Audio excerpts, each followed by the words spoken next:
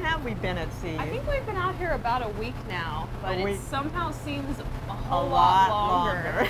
longer. um, we just finished passing through the Philippines, and everybody would run out and get their pictures taken, but in front of the volcanoes and all that stuff that was out there. And Once we got onto the open sea, we've had a little bit more movement now. I think I got my sea legs about three days ago, and now I'm having to get them again. know, now that we've gotten out of the shelter of the islands, everybody's feeling a little queasy again. We spent a lot of time setting up the gym, the recreation areas, and the, the movie office. It's finally set up now. and- Yay, the movie room's done. I'm ready for movie and popcorn and stuff in there and like that.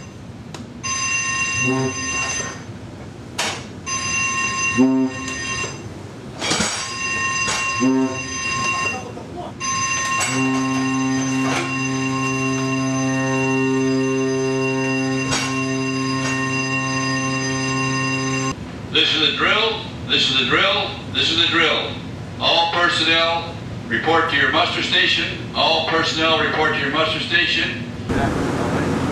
All we'll do is we'll practice with these boats here when it gets a little bit calmer, lower than up and down. We haven't had much experience. the various people on board of the ship uh, are, uh, are uh, really impressive and uh, in particular um, the unique mixture of, of this, this expertise they have and, and their experience with previous cruises.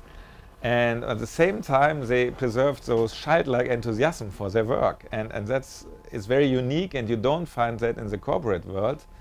And I have to I, I cannot remember to that I have ever seen this unique mixture on every uh, on other research cruises I have been on. We are not really the developers of many of the systems that we have on the ship. We are here basically to help them test, to make to make sure that by the time we reach Guam and that uh, we have a chance to board the, the scientists who are going to participate in the ac- acceptance testing, that all the systems, or that at least most of the systems, are ready for the task.